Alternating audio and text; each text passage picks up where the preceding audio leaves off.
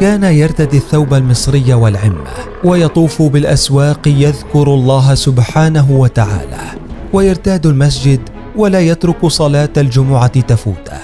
إنه إمبراطور فرنسا العظيم وأحد أمهر القادة العسكريين الذين عرفهم التاريخ. الرجل الذي رأى فيه هتلر قدوة له والرجل الذي خضعت له أوروبا وخانته زوجته وحبيبته. وهذه قصته. ولادة إمبراطور.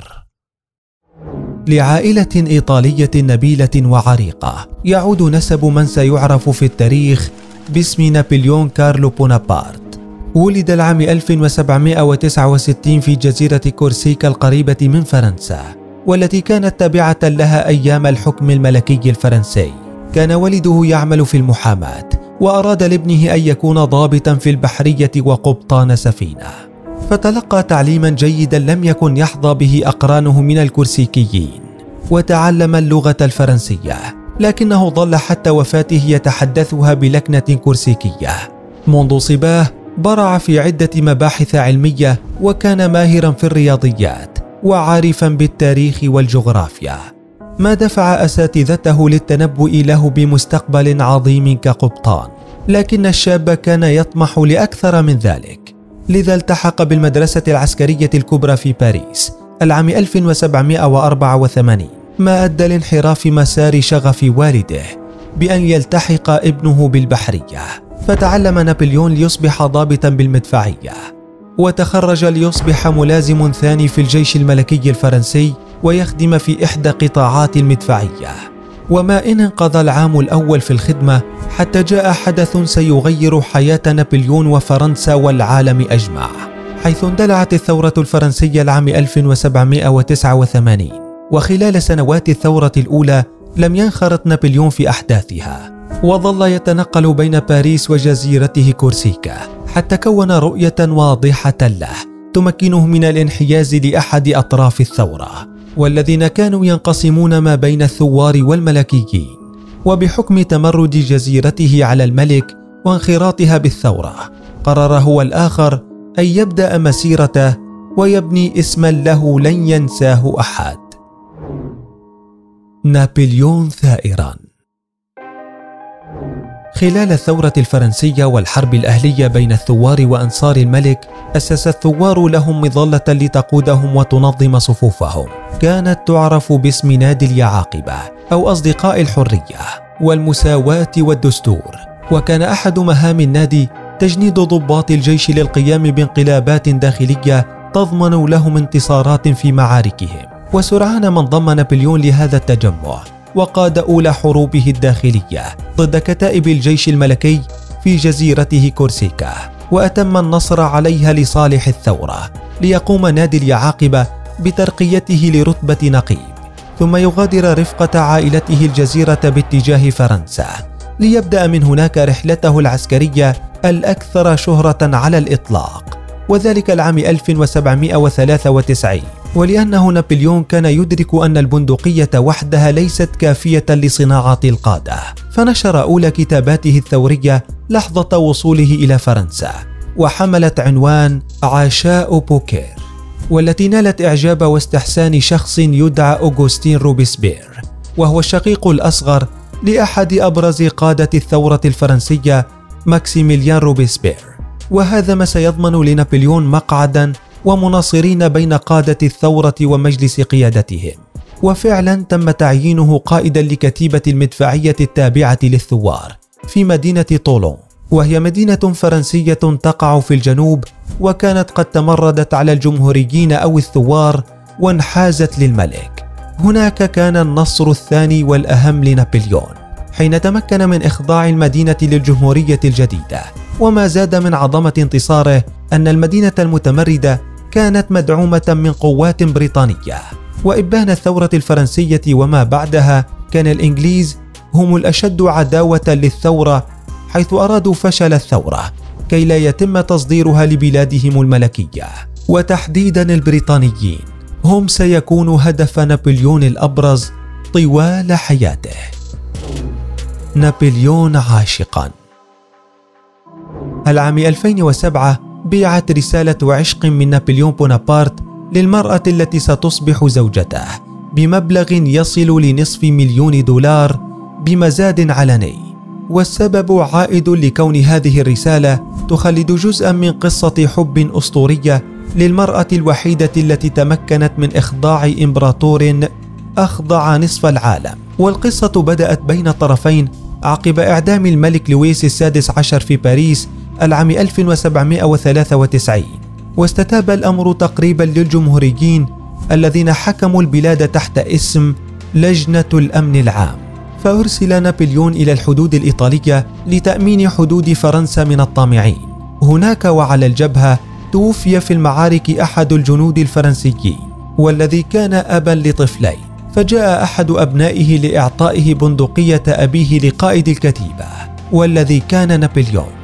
فتعرف القائد بوالدة الطفل الأرملة وكانت تدعى جوزفين ومن أول لقاء أعجب نابليون بالأرملة وواظب على زيارتها في بيتها.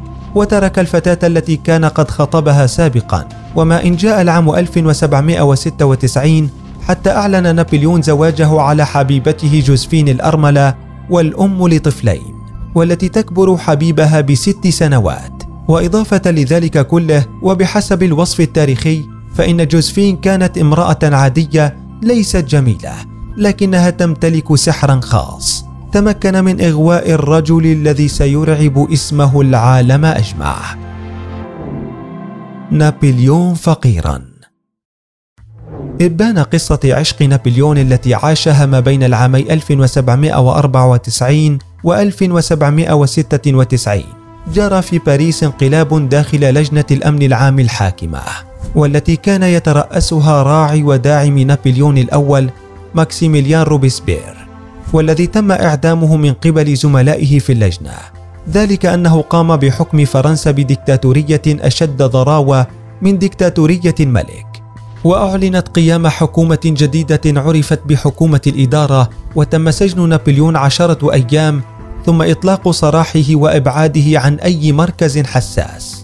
فسعى نابليون للذهاب لعاصمة الدولة العثمانية لعله يحظى بمنصب هناك يرضي طموحه بعد أن فقد الأمل بباريس لكن طلبه رفض وانصرف لكتابة رواية رومانسية تحكي قصة عشق بين جندي على الجبهة مع حبيبته.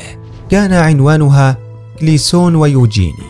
وساءت أحوال الشاب وتحديدا المادية حتى قيل إنه لم يجد قوت يومه. وتاه نابليون وشعر بالضياع.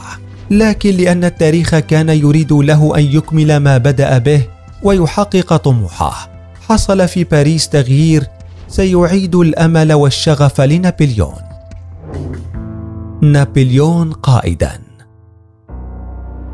وصل لحكومة الإدارة في باريس رجل يدعى بول سباراس وكان من الذين راقبوا انتصارات نابليون السابقة وكان من أشد المعجبين فيه. وحين عاد أنصار الملكية للتمرد على حكومة الجمهوريين جرى استدعاء نابليون من جديد وكلل بحماية قصر الحكومة بوجه هجمات الملكيين فقرر نابليون تجربة المدافع في عمليات قمع التمرد. وفعلا تمكن خلال أيام من إبادة الملكيين ما أكسبه شهرة واسعة كقائد عسكري. فتقرر العام 1796 إرساله إلى داخل إيطاليا لصد الهجمات على فرنسا وتحديدا من مملكة النمسا. هناك أبلى نابليون بلاء حسنا وتمكن من هزيمة النمساويين وإجبارهم على توقيع اتفاق مع الفرنسيين ضمن به تأمين حدود فرنسا. بل وأيضا انتزاع مدن لهم من مملكة النمسا ما زاد من ثقة الحكومة به. وفي حين تم إسكات النمسا ظل العدو الأبرز للفرنسيين متمثل ببريطانيا التي لم يكن من السهولة هزيمتها أو حتى مواجهتها وجها لوجه. ذلك أن البحرية الإنجليزية أشد ضراوة من البحرية الفرنسية. فسعى نابليون لإقناع باريس بخطة جديدة قادرة على صد الإنجليز. تمثلت بقطع الطريق عليهم باتجاه مستعمراتهم الشرقية وتحديدا الهند. التي كانت تعد درة تاج العرش البريطاني وفعلا لاقت خطته الاستحسان. فجهز القائد عدته واستعد لغزو مصر لقطع الطريق على الإنجليز. نابليون مسلما العام 1798 سارت جيوش فرنسا تحت قيادة نابليون باتجاه مصر عبر البحر. هناك حيث كانت القاهرة خاضعة لحكم المماليك وجزءا من إمبراطورية العثمانيين ولأن نابليون كان قارئا وعالما بالتاريخ والثقافات. أراد أن يحكم مصر بأقل الخسائر ومن دون وجود مقاومة لوجوده على أرض المصريين. وأدرك أن القاهرة لن تحكم إلا بالإسلام فأراد استمالة أهلها بعد أن هزم المماليك على السواحل الشمالية لمصر. وأرسل أولى رسائله لشعب مصر وجاء بجزء منها. بسم الله الرحمن الرحيم. لا إله إلا الله. لا ولد له ولا شريك له في الملك. من طرف أمير الجيوش الفرنسويه نابليون بونابرت يعرف أهالي مصر جميعهم قد قيل لكم إنني ما نزلت بهذا المكان إلا بقصد إزالة دينكم فذلك كذب صريح فلا تصدقوه. وقولوا للمفترين إنني ما قدمت إليكم إلا لأخلص حقكم من يد الظالمين وإنني أعبد الله سبحانه وتعالى أكثر من المماليك وأحترم نبيه والقرآن العظيم. وهدف نابليون من هذا الخطاب دفع المصريين لعدم التمسك بحكم المماليك والتبعية للخليفة في إسطنبول. ولكي يزيد من إقناع المصريين استمال القائد الفرنسي بعض رجال الدين وقربهم منه كما ارتدى ثياب المصريين وسار بينهم يذكر الله كما تذكر بعض المصادر حتى أن الأمر وصل به لارتياد المساجد وتأدية فريضة صلاة الجمعة، واستثمر إقامته في مصر لتجهيز حملة تسير من هنالك باتجاه الهند أكبر وأهم مستعمرات الإنجليز. لكن دهاء البريطانيين سيفوق دهاء نابليون هذه المرة، حيث سريعا تحالفت لندن مع إسطنبول، وقرروا إخراج نابليون من القاهرة. فعمل الباب العالي على تحريض المسلمين على الفرنسيين واصفا إياهم بالملاحدة والفاسدين. وفعلا لاقت حملة نابليون مقاومة في مصر.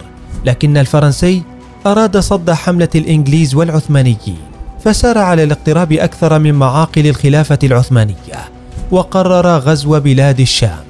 وفعلا وصلت حملته حتى جنوب لبنان وتحديدا مدينة صور وفي طريقه تمكن من إسقاط جميع المدن والحاميات الأتراك باستثناء حامية عكا شديدة التحصين والتي تلقت دعما من الأسطول الإنجليزي. فكانت أولى هزائم الفرنسيين ولكنها لن تكون الأخيرة في حملته على بلاد العرب. حيث جرى تمرد في القاهرة فقرر العودة لكن أثناء العودة أصيب جيشه بطاعون الملاريا. الذي أتى على كثير من جنوده فباتت الحملة بأكملها مهددة بالفشل. وزادت طين بلة أن البريطانيين عمدوا للهجوم على فرنسا من البحر المتوسط. حينها كان لابد من عودة نابليون لبلاده لحمايتها لينتهي عامان من الحملة على مصر والتي لا يمكن وصفها إلا بالحملة الفاشلة. أمر سيسرع من مخطط نابليون ويعطيه دفعة للأمام بدل السقوط. نابليون حاكما. مع عودة الجيش من الحملة الفاشلة على مصر كانت فرنسا تعاني قلاقل عدة وهجمات من الدول المجاورة. وكانت الحكومة القائمة في باريس تعاني الضعف. فاستغل نابليون الوضع لوضع قدم له في سبيل تحقيق حلمه. فأنجز انقلابا على الحكومة ونصب نفسه القنصل الأول للبلاد وهو منصب يعادل رئيس الحكومة. وبدأ في فرنسا عصر جديد تمثل بسن قوانين مدنية كثير منها سترافق فرنسا إلى العصر الحديث. فقد كان نابليون مشرعا يمتاز بالذكاء واستطاع سن تشريعات وقوانين منحت المساواة والعدالة للشعب في أمور عدة. كما سعى الرجل لبناء دولة حديثة وإنهاء حركات التمرد وتوسيع الجمهورية فبدأ تحالفات كان أبرزها مع الكنيسة الكاثوليكيه على الرغم من كون فرنسا كانت دولة علمانية. كما ضم إيطاليا إلى فرنسا بعد أن انتزعها من إمبراطورية النمسا. كما سعى مطلع القرن الجديد أي القرن التاسع عشر إلى تدشين سلام في أوروبا لكنه استثنى منه العدو الأزلي له وللفرنسيين بريطانيا. وبذات الوقت استغل محاولة الانقلاب عليه في فرنسا ليعلن استدارة في الثورة الفرنسية وإعادتها لحكم الوراثة.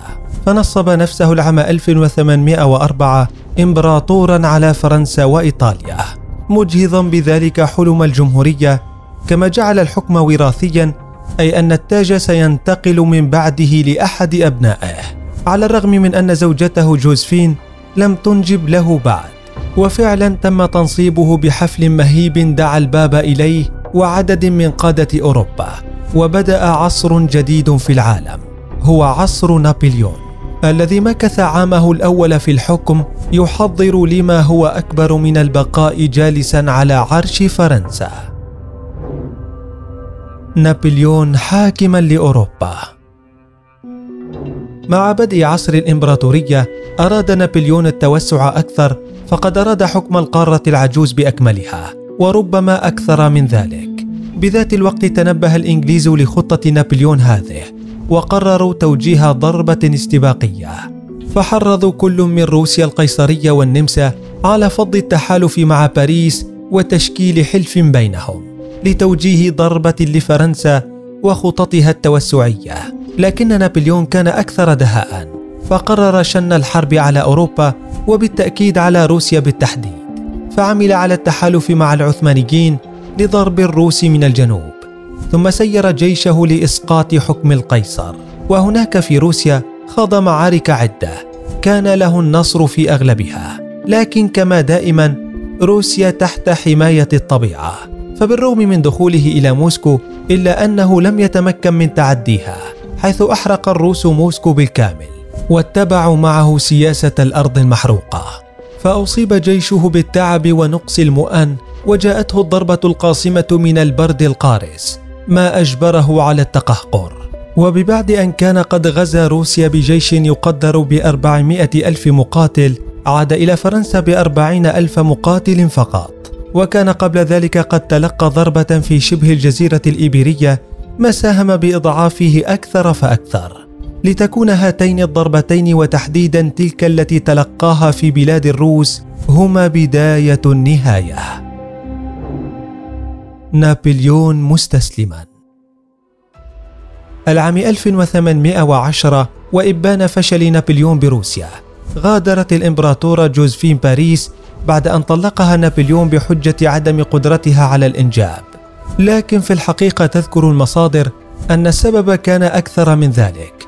فالمرأة التي أحبها الإمبراطور كانت قد استغلت غياب زوجها لخيانته مع ضباط جيشه وأشهرهم الضابط شارل هيولييت ما تسبب بكسر قلب الإمبراطور الذي أعلن زواجه الثاني من ابنة ملك ألمانيا المدعوة ماري لويز من باب توطيد الحلف معهم. وذلك في نفس العام الذي شهد طلاقه من جوزفين ولأن المصائب لا تأتي فرادى والأفراح لا تكتمل. كانت هذه الفترة تشهد تراجع صحة الإمبراطور النفسية وكذلك قدرته العسكرية حيث العام 1812 أراد إعادة بناء جيشه لغزو روسيا مجددا. لكن هذه المرة كان البريطانيون أسرع منه حيث أقاموا حلفا جديدا مع دول أوروبا تمكنوا خلاله من توجيه ضربة استباقية لفرنسا. وبعد عدة معارك كان بأغلبها النصر للحلفاء. تقهقرت القوات الفرنسية وتمكن بعدها الحلفاء من الوصول لباريس. هناك بات نابليون في قبضتهم لكنهم لم يعاملوه بطريقة مذلة. فالرجل كان يفرض احترامه على العالم أجمع. لذلك اختاروا له أن يغادر طوعا لمنفاه في جزيرة في البحر المتوسط. ظنا منهم أنه هكذا تكون النهاية لكن ليس هكذا ينتهي العظام. نابليون منفيا. بعد مغادرة نابليون لباريس أعاد الحلفاء تنصيب الملك لويس الثامن عشر شقيق الملك الذي أعدم سابقا لويس السادس عشر. في تلك الفترة كان نابليون في جزيرة ألبا حيث المنفى الذي اختاره وهي جزيرة ليست بعيدة عن فرنسا والتي سريعا سيغادرها بعد أن علم أن خلافا دب بين الحلفاء في فيينا ووصل الشواطئ الفرنسية. فعلم الملك لويس بذلك فأرسل جيشه لصده. وما أن رأوا نابليون مترجلا ويسير نحوهم وحده مذكرا إياهم أنه إمبراطورهم حتى ساروا خلفه وتحت قيادته ليتمكن سريعا من استعادة عرشه ويعيد تنظيم جيشه لضرب الحلفاء. لكن لن تجري الرياح هذه المرة بما يخدم القائد العظيم حيث سيمنى بخسارة جديدة وأخيرة. يعيد الحلفاء بها نفيه هذه المرة إلى مكان هم يختاروه. فقررت بريطانيا أن تكون جزيرة القديسة هيلانا جنوب الكرة الأرضية في المحيط الأطلسي هي المنفى. وفعلا ذهب نابليون لها. وعاش فيها وهو يحلم باستعادة عرشه وكانت أحلامه واقعية.